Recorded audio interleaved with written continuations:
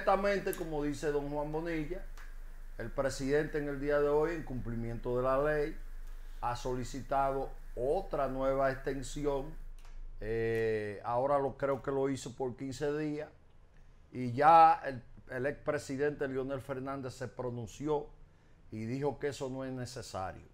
Luis Abinader dijo que esta tarde habrá una reunión de su equipo donde se va a evaluar esa nueva petición si se respalda o no. El presidente Danilo Medina, tranquilito, agachadito, tácticamente, ahí haciéndose muetico, quiere 15 días más de inactividad política, porque la actividad política la está haciendo el PLD a través del gobierno, con sus planes sociales, con su entrega de caja, con su tarjeta y con sus medidas. Entonces quiere Pero- 15 pero, días eh, más. eh, Pero sí, mientras pero tanto... Es que, es que hay una situación, la salud y la vida Sí. de la gente está por encima de los intereses políticos. Sí, pero entonces... no, eh, está- eso está muy por encima. Pe- que no tengan tiempo de hacer campaña electoral, bueno, porque eh, es que eso no puede estar por encima de la necesidad urgente que tenemos de seguir preservando Sí. la vida y la salud de la gente. Yo estoy muy de acuerdo con usted. El primero que debiera hacer eso es el gobierno. Sin embargo, quieren, quieren coartar, quieren, esto quieren está limitar. afectando a momentito, todos los sectores. Un momentito. En términos de campaña electoral. Un momentito, un momento. No.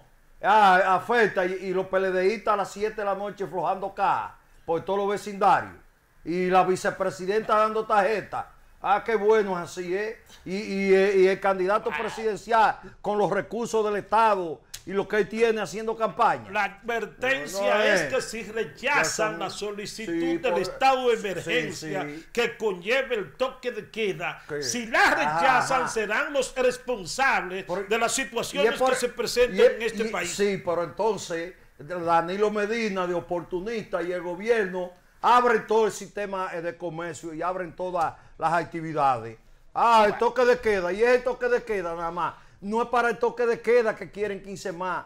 Es para hacer toda la compra sin licitación y seguir usando los recursos del Estado y el presupuesto. Ah, porque si es para salvar vidas, ¿qué hicieron ahora por la presión de los empresarios? Yo lo que, que espero abrieron es- también los centros Yo lo que comerciales. espero es que no ahí. pongan los intereses políticos por encima de la salud de la gente. Es lo único. Titulares No, electorales. Yo, yo quiero eso también. Titulares ¿Por qué, no, ma- electorales. por qué no mantuvo? ¿Por qué no mantuvo Bueno, en el sector comercial las Esa es la advertencia. Si aquí se Eh, produce una situación, eh, aquí todo el mundo sabe quiénes van a ser los responsables. Oh, sí, pero vamos a hacer- Titulares electorales. Ahí está. Senado convoca para este jueves para conocer prórroga de estado de emergencia. Vocero de los diputados del Partido de la Liberación Dominicana dice se debe respetar el derecho que tiene Danilo Medina de solicitar otra extensión del estado de emergencia. Continuamos con los titulares electorales aquí en la ruta. Abinader, nuevo gobierno, heredará una triple crisis. Eh, ganará elecciones con el 51.8% de votos según encuesta. eh, que ¿De quién es Juan? No la veo bien de aquí. Idéame.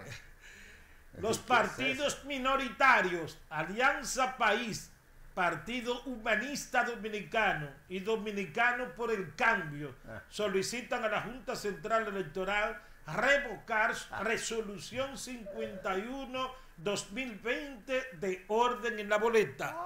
Ah, Más titulares. del PRD.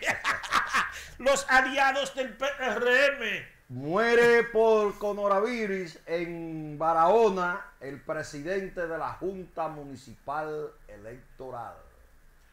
Héctor Acosta el Torito ganaría la senaduría de Monseñor Noel según las encuestas del PRM. El Torito, ¿a dónde dice ahí PRM? Según encuesta, ¿cuál es el PRM? Está distorsionando los titulares a su favor. ¿Qué es eso? Según encuesta, el PRM ha hecho encuesta. El PRD dice que postergará reclamo que modifica casilla en boleta electoral. Muy bien por el PRD. Temístocle Montaz, presidente del PLD, afirma que Gonzalo Castillo y Margarita Cedeño ganarían con un amplio margen el 5 de julio. Según encuesta que pagó Temo Montaz.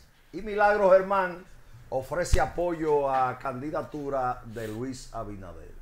Pero, hermano, Eso no es raro ni es nuevo. Lo que es bocina de Luis Abinader. Sí, sí, sí, exacto, sí. No, porque que, Eh, sí. eh, eh, eh, es que aquí quisieron engañar, ¿tú me entiendes? Con ese término des- descalificando y tratando de restarle credibilidad a comentaristas bien acreditados en esta sociedad, diciendo que son bocinas y resulta que ellos han terminado todos siendo bocinas de Luis Abinader. Eh, Juan ¿Es así? Ju- Juan Bonilla confunde eh, comunicadores refutados con comunicadores bien pagos.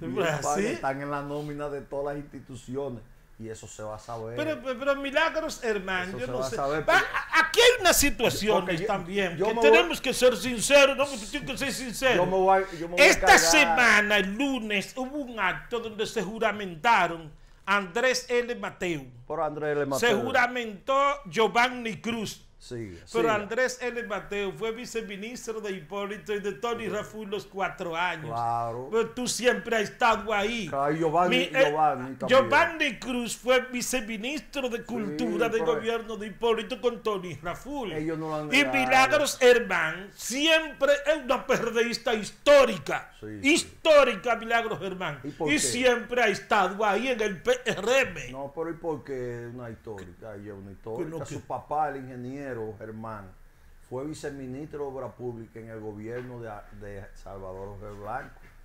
Y, y, y Atoy de Can fue su marido y padre de tres hijos de ella. O sea que ella tiene raíces ahí. Y Miguel Vargas Maldonado fue padrino de un hijo de ella. Así que nadie de extrañar eso. Nadie de extrañar eso.